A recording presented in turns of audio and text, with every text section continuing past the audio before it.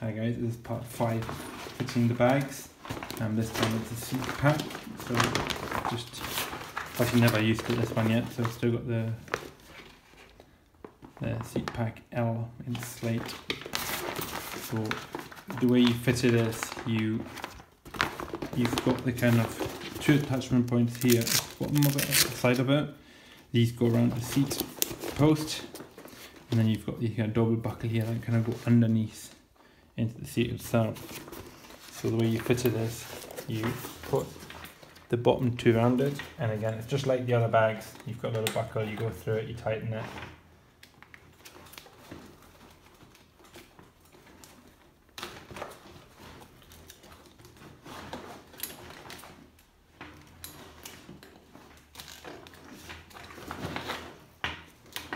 And then these are a bit more tricky because you've got to get underneath and over I'll show you in a second what it looks like close up yeah, one.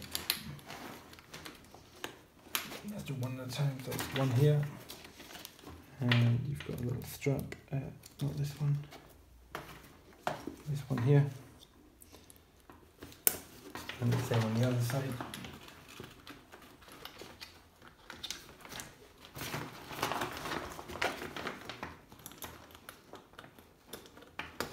And then it's just a question of tightening these all up a bit and getting it nice and tight.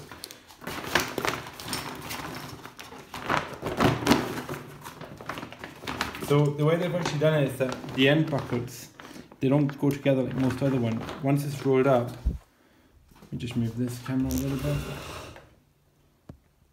So once it's rolled up, they actually go into this one here and the side one. And the reason for that is that the way the straps work, they kind of pull the bag up towards the seat. I'll give you a little close up in a second what I mean. Just do this now. So. So there we are. So basically the way you've got kind of two attachment points here on the seat post, then you've got these ones up here, and they're attached to the back of this. There's kind of a solid plastic bit in here to there. So these are attached to the bottom and they kind of pull the bag up towards the seat, which is where these straps.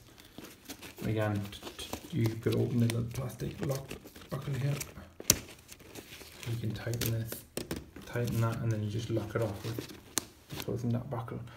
So you've got these two, that, that, these two straps on both sides, they kind of pull the entire bag up to stop the weight going down, and then you've got these two straps which attach to the end of the bag. So er depending how much stuff is in the bag, it out here. Instead of it falling down on the weight, these straps will then kind of pull it forward um, which is quite clever design. And you can actually buy another reinforcement strap, which I haven't got because I don't think I needed, um, which goes around the back of it, and then somewhere at the front it attaches to pull the entire bag up and forward a little bit more. But yeah, again, the bag is empty, so there's not much in it now. Well, there's nothing in it. Let me just fix it up for one second. Yeah, I've just put some air in it to show you what it looks like. So these straps pull the end in, make it tight so the water doesn't go in it, and then these two on both sides pull the whole back up towards the seat. And you've got the kind of bungee in there to put something in like a jacket or some flip flops that you might need. And then you've got an attachment point back there, you can put a light or something on it. So yeah, that's the seat pack put on the bike, very simple. Again, it doesn't take long, none of the bags take long. So we've got the seat pack, we've got the frame bag, accessory pack, sorry, accessory pack and handlebar, and then the cockpit bag. All five bags now on the bike.